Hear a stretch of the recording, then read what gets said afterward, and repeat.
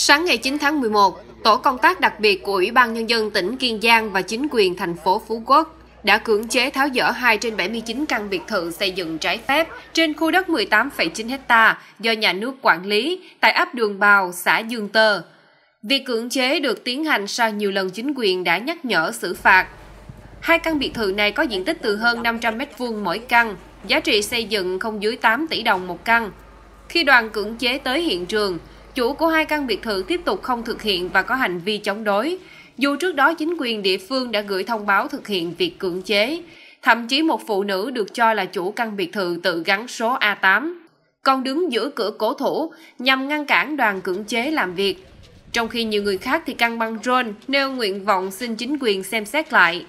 Ông Huỳnh Quang Hưng, Chủ tịch Ủy ban Nhân dân thành phố Phú Quốc cho biết, đây là việc làm thể hiện quyết tâm xử lý vi phạm trên lĩnh vực xây dựng quản lý đất đai trên địa bàn. Ông Hưng cũng khẳng định, thực hiện chỉ đạo của tỉnh Kiên Giang, các ngành chức năng của thành phố Phú Quốc sẽ tập trung xử lý nghiêm, dứt điểm các vụ lấn chiếm đất rừng, lấn chiếm đất công, xây dựng công trình trái phép từ nay tới cuối năm.